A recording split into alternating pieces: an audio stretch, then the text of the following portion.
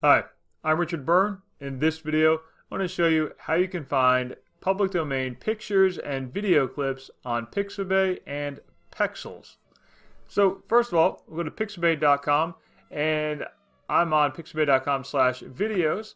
You can also go here and select images and the type of image you want to look for. But let's take a look for a puppy video. And now the ones across the top here, you'll see they're labeled with a Shutterstock watermark. Those are not public domain and those are not free. The ones down below are available for free. So let's say we find this one here. We can now select our download option. You choose the size that you want. Now all but the smallest sizes will require that you sign up for a free pixabay.com account. You can do that using your Google account, a Facebook account, or you can use your regular email address as well. Hit the download button, and now I have that puppy video that I can drag and put on my desktop.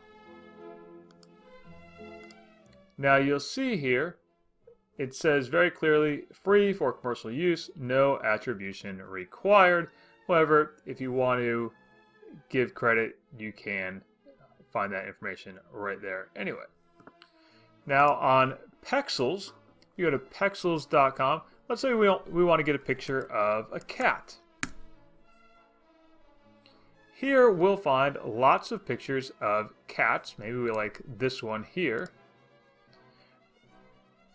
And we can, again, go and select the download.